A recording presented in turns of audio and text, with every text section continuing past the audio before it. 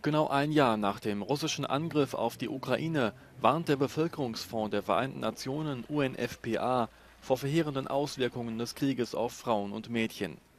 Demnach mussten rund 14 Millionen Menschen, fast ein Drittel der ukrainischen Bevölkerung, aus ihrer Heimat fliehen. Zehn Millionen Menschen würden teils unter posttraumatischem Stress, Angstzuständen und Depressionen leiden. Нашого сусіда просто на очах розстріляли. Він пішов по воду, у нього маленька дитина залишилася.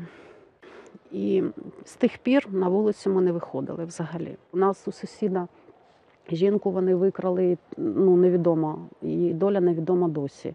Її серед мертвих немає. І він, він досі її шукає, досі шукає, не знає, що з нею. Im Jahr 2022 wurden in der Ukraine inmitten der Kriegswehren rund 195.000 Babys geboren.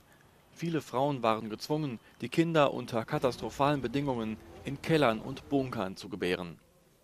Insgesamt gab es mehr als 700 Angriffe auf Gesundheitseinrichtungen. Der UNFPA und seine Partner haben in der Ukraine rund 20 mobile Kliniken errichtet. Mehr als ein Drittel aller Geburten wurden in von UNFPA unterstützten Einrichtungen entbunden